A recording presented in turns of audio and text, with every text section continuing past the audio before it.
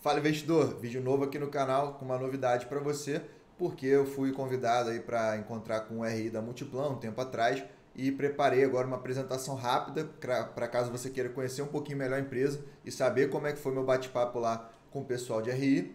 Fica aí até o final do vídeo, e se ainda não for cadastrado no meu site, clica aí na descrição do vídeo e se cadastra lá para poder ter acesso gratuito, principalmente aí aos balanços da Multiplan de forma 100% gratuita. Beleza? Então, separei alguns pontos aqui principais que eu quero que você entenda, é, principalmente em relação à empresa e tal. Né? Eu, particularmente, é, caso você queira ver uma opinião mais aprofundada da Multiplan, tem o meu vídeo de análise aqui no canal, tem lá também no site. Caso você queira verificar a análise do último trimestre também, é, tem aqui no canal. Beleza? Então vamos lá. Eu quero é, primeiramente também fazer esse vídeo de forma de agradecimento lá para a relação de investidores da Multiplan. É, me receberam super bem. É, o gerente RI me convidou por e-mail, falou que o, e lá também eu conheci o CFO da empresa, conheci várias pessoas ligadas ao planejamento da empresa, mas principalmente o pessoal de RI que lida principalmente com esses investidores que vão lá visitar a empresa. Tá? É, também o diretor de relação com investidores, então fui super bem recebido lá pelo pessoal né? e queria agradecer primeiramente aqui a Multiplan. Era uma empresa que particularmente fica bem perto aqui da minha casa, então é, foi muito tranquilo lá de ir e conhecer tudo. É, vou até confessar que era um sonho porque eu estou sempre aqui frequentando shoppings da Multiplano, é uma empresa que eu gosto bastante. Então, assim, fica aí meu agradecimento à equipe, principalmente por toda a recepção pelo convite.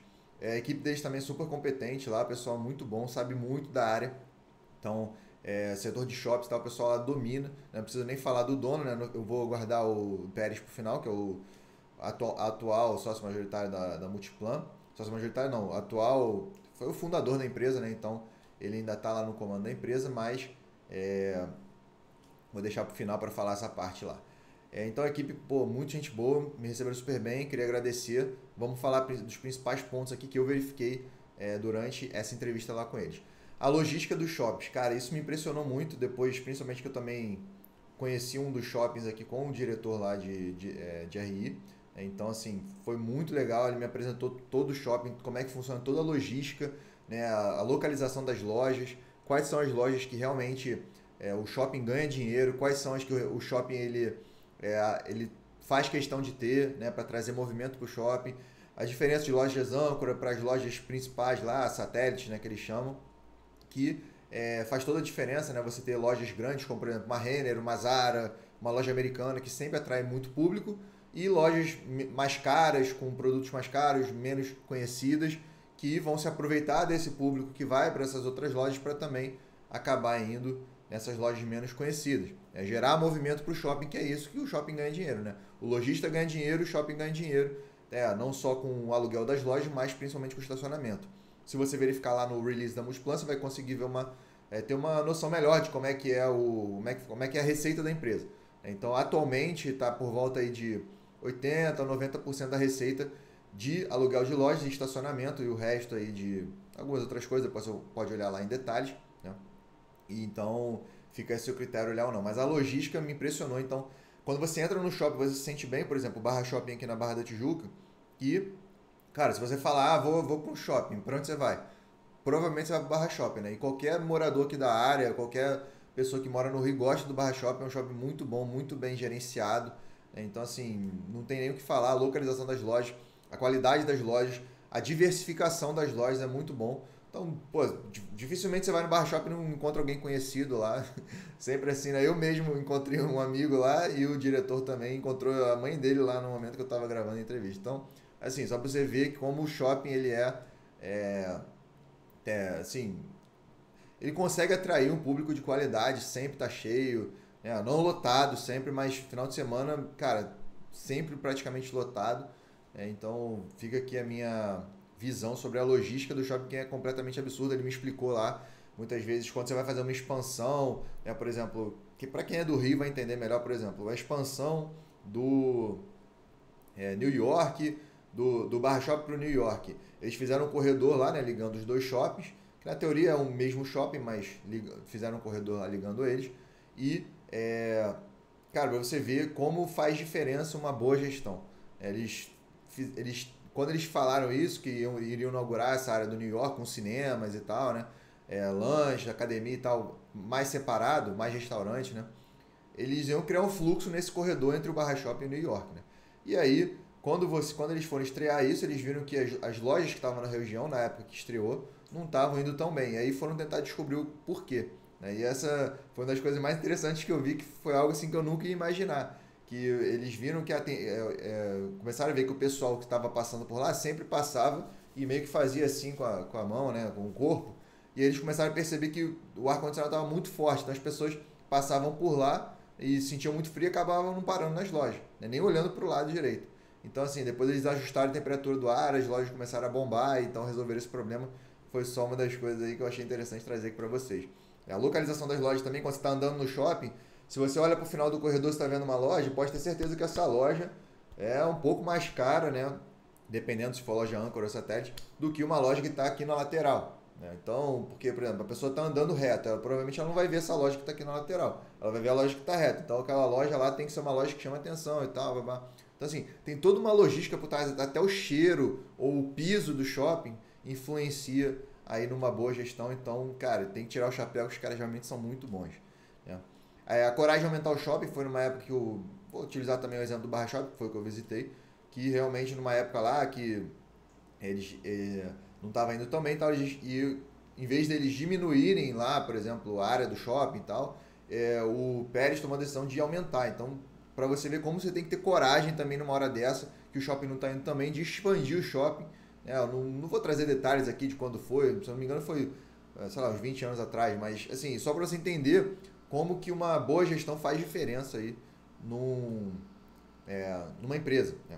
Por isso que eu sempre falo, o primeiro módulo do meu curso lá avançado é o quê? Governança. Tem que entender se realmente você concorda com as principais decisões da empresa, quem é que está no controle, se o cara é bom, se não é. Então, assim, tem uma equipe boa, né? Então, é também ter coragem na hora de, de, de, fazer alguns, correr alguns riscos, né? E expandir na hora que tem que expandir, mas que a economia não vai muito bem, mas você tem que ter coragem em determinadas horas, né? O e-commerce versus shops foi outro ponto interessante que eu questionei lá com eles, que é, ah, muitos shoppings nos Estados Unidos estão quebrando e tal, como é que vai ficar isso aqui no Brasil, como é que a Multiplan está ali, por lidar principalmente com o setor de shopping, está lidando com essa quebra aí geral nos Estados Unidos e se isso vai influenciar alguma coisa aqui.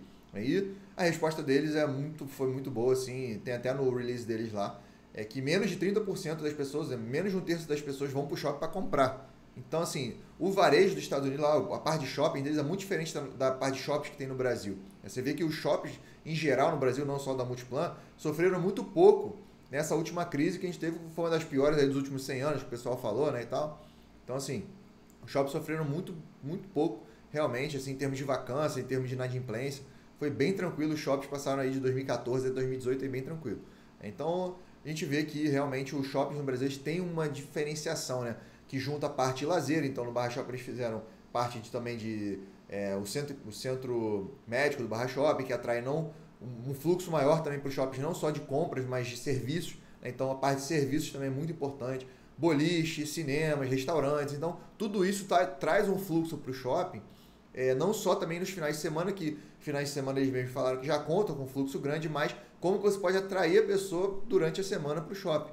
Né? E para você atrair durante a semana, você tem que meio que entrar no dia a dia dela, porque nem todo dia a pessoa sai para comprar. Né? A maioria das pessoas trabalha durante a semana, então ela realmente vai no shopping só, se for, se for só para comprar, ela pô, raramente vai. Então, como que você pode trazer essa pessoa constantemente para o shopping? E aí que vem a, não só o Barra Shopping, nem os shoppings da Multiplan, mas você vê que muitos shoppings têm academia também. Eu mesmo, a academia que eu malho é num, shopping, não no Barra Shopping, outro, mas é, você vê que ah, não só academias, mas restaurantes, farmácias, não, não só essa parte de compra. Né? Você vai lá no banco, vai no correio, você vê que o Barra Shopping tem, tem tudo isso lá. Então, se você quiser resolver sua vida, você vai lá no Barra Shopping, vai no banco, vai no correio, vai, pô, sei lá, comprar alguma coisa, vai trocar alguma coisa, vai no cinema, depois você come, né? Você pode fazer isso tudo num só lugar. É, então isso acaba trazendo fluxo para o shopping, que é o principal, né? Que sem fluxo não adianta, né? Não tem ninguém na loja, não adianta nada. E quanto maior o fluxo, maior o, o shopping, né? Mais você pode cobrar dos lojistas para estarem lá. Então, mais você pode aumentar o aluguel, mais você pode. Você tem barganha, porque muitas vezes, é, para você alugar para uma loja num shopping bom, tipo Bar Shopping aqui, eu estou usando muito Bar Shop, foi o shopping que eu fui lá com eles, e também o shopping que eu mais conheço aqui, então vou utilizar ele mais como exemplo, tá? Então, assim, é, vai ter disputa de gente querendo abrir loja no Barra Shopping, né? Então, porque você sabe que tem um fluxo muito de muita qualidade lá, um fluxo constante. Ao contrário de, por exemplo, se você, se você pegar alguns centros comerciais aqui um pouco menores, que são considerados shoppings também, mas não que nem um bar shopping, um village mall da vida, ou esses grandes shoppings da Multiplan, você vê que quando só tem tipo serviços, né, muitas vezes o shopping fica muito tempo vago, é muito difícil de alugar e tal. Então, se você não agrega essa parte não só de serviços com compras, com diversão, com lazer, com tipo serviços médicos, etc e tal, você tem que juntar isso tudo para poder realmente crescer um shopping e tornar ele competitivo. Então, é, outra, outro ponto importante que eu falei foi a resiliência nos ciclos ruins, então foi o que eu já falei, né? Os shoppings sofreram muito poucos, os da Multiplan também. Ela conseguiu manter aqui, né? deixa eu, eu separei aqui no meu site os balanços dela rapidinho para a gente ver. A gente vê que no, nesse período de crise, né, 2014, começou mais forte em 2014, né? Você vê que os lucros, ela conseguiu manter os lucros altos, né, praticamente iguais, né, caiu um pouquinho aqui, mas nada demais, né, e voltou a aumentar agora no primeiro trimestre de 2018, que é o momento que eu estou gravando esse vídeo, o operacional dela também né, se manteve muito bom nesses últimos 4, 5 anos aí. Então foi bem tranquilo, ela passou bem tranquilo aí por essa crise. Né? Então, é outro ponto que chama atenção quando você pega uma boa gestão, né? Se você pega uma boa gestão, ela, cara, no período bom ela vai lá, senta o dedo, né? E no período ruim ela dá uma segurada e mantém os lucros. Então é isso, é isso sim é uma boa gestão que eu falo aqui, estou usando o Multiplan, mas serve para outros setores também. É uma das menores dívidas do setor, então se você quiser utilizar o comparativo do meu site, você, clica aqui, ó, se cadastra no meu site gratuitamente, link aqui na descrição. Você vai ver o comparativo de ações, eu já coloquei aqui ó, pelo setor de shoppings. Então são as principais é, empresas de shoppings aí da Bolsa atualmente, né? Busplan, Guatemi, Sierra, é, BR Malls, JHSF, Alliance, General Shopping, então são as principais que eu vejo aí. Então você vê que já tem dois com prejuízo, né? Em 2017, BR Malls JHSF, as outras Alliance mais ou menos, né? General Shopping deve ter algum não recorrente com essa margem aqui. E aí, é, a Multiplan aí junto com o Iguatemi, margem iguais, 2017, só na Sierra. Então, são as principais aí. Depois você pode dar uma olhadinha. Melhor então, a gente vê que a Multiplan tá por volta aí. Vamos ver a, a dívida bruta né, em relação ao patrimônio a, a, e a dívida líquida sobre. A princípio, dentro de um certo controle, bem equilibrado até o momento. Então, o CFO lá tem que se virar para manter isso dentro de um certo equilíbrio, né? Para isso não se, se desequilibrar, porque é característica da Multiplan, você vê pelo histórico dela, se alavancar para poder crescer. Né? Ela trabalha no setor de imóveis, é normal isso. Você pega a maior parte dos setores shoppings, imóveis, incorporadores e tal, você vai ver aí que ela se alavanca, né? você vê que a dívida não para de crescer. Até estabilizou nos últimos anos, mas para ela crescer ela tem que praticamente se endividar. Né? É, a gente compara aqui com a General Shopping, já vê aí ó, é, prejuízo um atrás do outro aqui, né? voltou a dar lucro agora, mas cara, olha essa dívida aí completamente louca, apesar de estar se equilibrando. Alliance deu prejuízo no, é, em 2016, mas dívida líquida de 4, já, a dívida bruta já está superando o patrimônio. É, essa aqui é a JHSF, prejuízo, não tem nem a canalizar, né? Tchau. BR Mall já deu prejuízo de quase um bilhão aí e também faz esse rolo com lucro, com valor dos imóveis. Então a Multiplan é uma das que não faz isso, junto com a Alliance, se eu não me engano.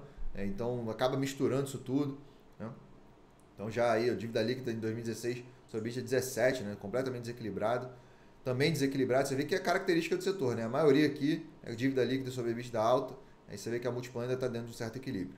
É, aqui o Guatemi, eu acho que concorre diretamente, mas aqui no Rio meio fraco, né? É, os lucros também saem do lugar e tal, mas a dívida que eu quero comparar também é parecida com a do Multiplan atualmente, então dentro de certo equilíbrio. E a Sonai Serra também que é, provavelmente, não sei se atua, vamos ver aqui principais comportadores, proprietários, operadores, então ela faz tudo meio que a Multiplan faz e tem bons balanços também, né, com uma dívida um pouco mais equilibrada e dívida bruta é, sobre PL um pouco menor também, então assim, você vê que são poucas aí que não é tão fácil você manter a dívida e dar lucro nesse, nesse ramo aí, né? Várias vezes deram prejuízo, faz esse rolo com valorização do imóvel, então fica a seu critério aí, é, escolher a que você quer se tornar sócio. É, fluxo de caixa negativo, conforme eu mostrei aqui agora também, a gente vê que é, foi um dado muito interessante lá que eu consegui lá com o RI, que é o seguinte, é entender que nos períodos bons, você olha esse fluxo de caixa negativo, você fica desesperado. Mas não, é nesse período bom, né, que foi como se foi aí 2006 até 2013, mais ou menos, 2012, que a empresa vai lá e, cara, bota o pé no acelerador, vai lá se alavanca mesmo, você vê que a dívida saiu lá de por volta aí de 40, 50 milhões para quase para 2 bilhões aqui em 2013 mas também quando você pega o lucro operacional da empresa, saiu lá de 20 milhões para quase 400 milhões, né? Você vê aqui, ó, 500 milhões 480 milhões. Então, realmente, você vê que apesar da empresa ter ficado todo esse tempo com fluxo de caixa negativo, se você realmente acredita na boa gestão dela e tal, você vai ver que isso uma hora vai, dar, vai trazer um resultado para ela. E você vê que trouxe. Né? O lucro saiu lá de 20 milhões para 400 no período. Então multiplicou por 20 aqui de 2007 até 2012. Né? Em 5, 6 anos aqui multiplicou por 20 o lucro nesse período que o fluxo de caixa estava completamente negativo. Então, eles aproveitam esse período, vão lá, sentam o cacete, né? fazem novos shoppings e tal, blá, blá, blá, e aí conseguem... É, os períodos de maior crescimento da empresa, que foi que foi passado, né? vão ser nesses períodos que o fluxo de caixa vai estar tá negativo. Né? Quando o fluxo de caixa positivar, pode, vai ser o período que ela está lá né, se segurando um pouco. E aí é, você vê que os lucros não saíram muito do lugar nesse período, né? apesar do, de ter sido um período muito conturbado para o país. Você vê que a receita se manteve a mesma e tal, o operacional não saiu do lugar, o lucro, o lucro também não. E o fluxo de caixa positivou. Então aqui é claramente a empresa botando o pé um pouco no, no freio, né? Vamos dar uma segurada, vamos ver qual vai ser, período econômico, como é que está isso aí e aí o fluxo de caixa positivo é para que, caso, vamos ver lá, 2019, 2020 o setor é, de imóveis volte a ficar quente, ela vai lá e, pô, vai lá, se alavanca mesmo, tem, lógico, né, dentro de um certo equilíbrio, conforme estava aqui, né, nesse período todo você vê que é, foi dentro de um certo equilíbrio, aqui 2011, 2012 até dobrou praticamente a dívida aqui, mas, cara, se tiver dentro do equilíbrio, não tem problema nenhum. Né? Só tem que realmente dar lucro para o acionista. Né? Então, é isso que importa no final. É, outra, outra coisa que eu perguntei lá também foi a reputação ruim no Reclame Aqui. Então, se você dar uma olhadinha lá, vai estar como ruim, mas que acontece? Como as empresas, as, essas empresas multiplan, não é tão conhecida assim como o Barra Shop, por exemplo. Você perguntar aqui para qualquer pessoa que mora no Rio de Janeiro, vai falar: Você conhece o Barra Shop? Conheço. Você conhece a Multiplan? Hum, não sei, já ouviu falar e tal. Então, assim, como elas não são muito conhecidas pelo nome, elas são conhecidas mais pelos empreendimentos dela, Vila de Mall, Barra Shop, Morumbi Shop, babá, né? é, elas são muito avaliadas, por exemplo, no Google, no Reclame Aqui, por esses shoppings, né? Então acaba que no Reclame Aqui eles não dão muita bola. Você vê lá que deve ter, sei lá, 10 reclamações no máximo lá, que eles acabam não dando muita bola porque não tem muito a ver. Né? Mas se você pesquisar, por exemplo, barra shopping no Google, você vai ver que tem lá um milhão de comentários lá, avaliações, né? que vai poder verificar melhor a qualidade dos shoppings. Né? Outro ponto interessante, que o pessoal fala também, Multiplan, né, que é uma empresa que é como se fosse um rate da vida lá nos Estados Unidos, fazendo uma comparação mais fácil, com o FIIs, né, que FIIs, o fundo, os fundos imobiliários, eles têm uma, uma, eles têm um modelo de negócio muito mais enxuto do que uma empresa. Né? Uma empresa tem que pagar imposto, o fundo imobiliário não. É, tem uma estrutura assim muito mais tranquila do que uma empresa que tem um milhão de funcionários e tal, babá, em relação ao fundo imobiliário que não tem nada disso, né? É muito mais enxuta essa, é, essa empresa, CNPJ na teoria. Né?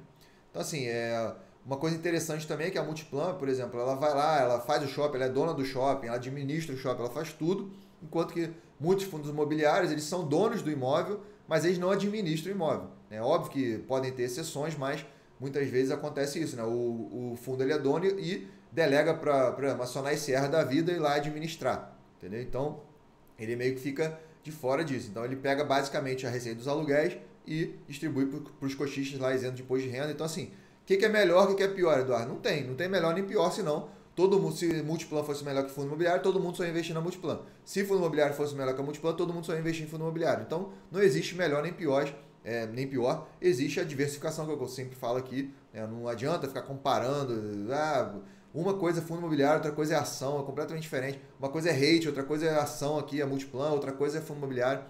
Tem como comparar indiretamente, para a gente também ter uma noção dos mercados e tal. Mas assim, comparar banana com banana não é, né? É maçã com maçã. É, não é tanto tão assim. Então, são coisas diferentes. Caso você queira é, investir num shopping através de um fundo imobiliário, investir no shopping através da Multiplan, são coisas diferentes. Entenda que é, você vai ter diversificações diferentes, assim, em termos de. na prática mesmo ali. Uma empresa faz tudo, outra empresa não faz tudo. Então, uma é isenta de imposto de renda, a outra não é. Então, você tem que. O ideal é você ter um pouco dos dois, né? Mas, é, lembrando sempre de só comprar o que você entende, né? Não adianta você comprar fundo imobiliário porque, porra, alguém recomendou, o primo do seu tio falou lá que investe também, né? Você tem que entender antes de é, investir em qualquer coisa, principalmente na renda variável, né? Renda fixa, mal bem, se você erra lá, mal bem, é renda fixa. E para a gente fechar, eu queria falar do futuro visionário do, do futuro do visionário, né, que é o Pérez, fundador da empresa. Então ele realmente, cara, um cara sensacional assim. Eu escutei é, um, uma teleconferência com ele e ele, ele tem muito uma visão alinhada, assim, as respostas dele foram sensacionais, muito alinhadas, não só dele, né, como o pessoal lá do, é, do financeiro, do, do RI também, muito alinhados com é, essa visão que a gente tem de longo prazo, de pô, ser sócio da empresa e tal, os analistas sempre focando no futuro, fazendo essas comparações e tal, do shopping, não sei o quê, preocupados com futuro, futuro, futuro, e ele, cara, é presente, pô, gestão, papapá, tudo que eu falo aqui, né? Foca na gestão, é, a gente, pô, tá crescendo, mas, pô, você vê que não é tão simples assim, né? O analista, ele quer meio que prever o futuro, né? E o, e o gestor, ele tem como é, função, né, principalmente, tranquilizar os investidores, né? Como ela é uma empresa de capital aberto, ela deve, ela deve, né? Ela é obrigada a prestar contas aos investidores de forma pública.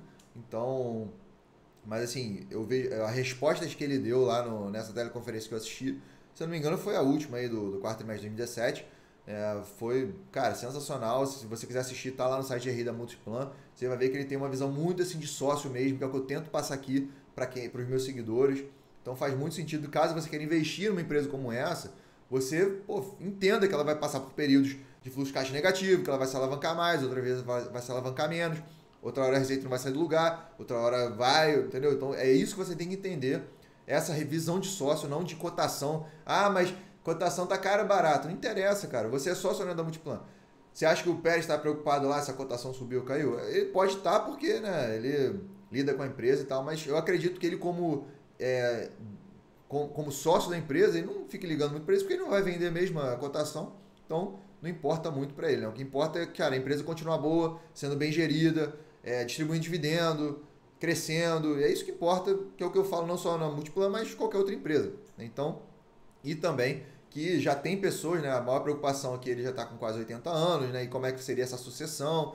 E eu perguntei lá, mas eles falaram que realmente o, ele ainda está muito ativo na empresa, mas tem pessoas que ele não é o único lá que toma decisões na empresa, né? Tem a área lá de planejamento, de operações, tem a área também, tem o filho dele que já está na empresa lá há mais de 20 anos, também sabe muito do setor. Então, assim, é, cabe ao investidor acreditar ou não nessa sucessão né? e acreditar nas pessoas que estão lá trabalhando hoje na empresa. Então, assim, a equipe lá é muito boa, posso falar que eu fui lá conhecer. Então, essa é a minha opinião, né? Não quer dizer que seja a sua. Então, assim, eu, eu acredito muito que a empresa vai continuar crescendo, independente dele estar presente aqui ou não na, na empresa, diariamente, mais ativo, menos ativo. Né? E, então, assim, é, essa foi minha opinião, espero que vocês tenham gostado aí. Falei aqui do abertamente aqui, do fundo do coração, tentei ser o mais claro possível. Espero que vocês tenham gostado. Aproveita lá no meu site também, tem todos os balanços. Caso você não for inscrito ainda, clica aí no, na descrição do vídeo. Se gostou do vídeo, dá um joinha, tá? Então fica aí a minha, minha palavra final aí da Multiplan, uma empresa muito boa. Eu realmente não estou aqui é, fazendo esse vídeo como objetivo de compra da empresa, de compra ou venda. Eu não trabalho com isso, você sabe muito bem como é que é o meu trabalho. É um trabalho muito mais focado com essa mentalidade de sócio, né? E como eu fui lá conhecer um pouquinho mais sobre a empresa, eu resolvi trazer aqui para você é, algumas, alguns pontos mais interessantes que você pode levar não só para essa empresa, mas também para outras, né? Do setor, ou para ter uma visão melhor um pouquinho é, das empresas da Bolsa em geral. Beleza? Vou tentar fazer esses encontros com a RI um pouco mais constantemente em outras empresas também, de preferência empresas boas, né? empresas ruins. É óbvio que eu não vou, né? óbvio. Então, assim, vamos ver se eu trago mais para frente aí alguns vídeos como esse para agregar aí ao canal e a, a, sua evolução como investidor. Beleza? Então, espero que você tenha gostado. É, qualquer dúvida é só deixar um comentário aqui embaixo. Se você gostou do vídeo, deixa o like, hein? Valeu? Um abraço e até o próximo vídeo. Tchau, tchau.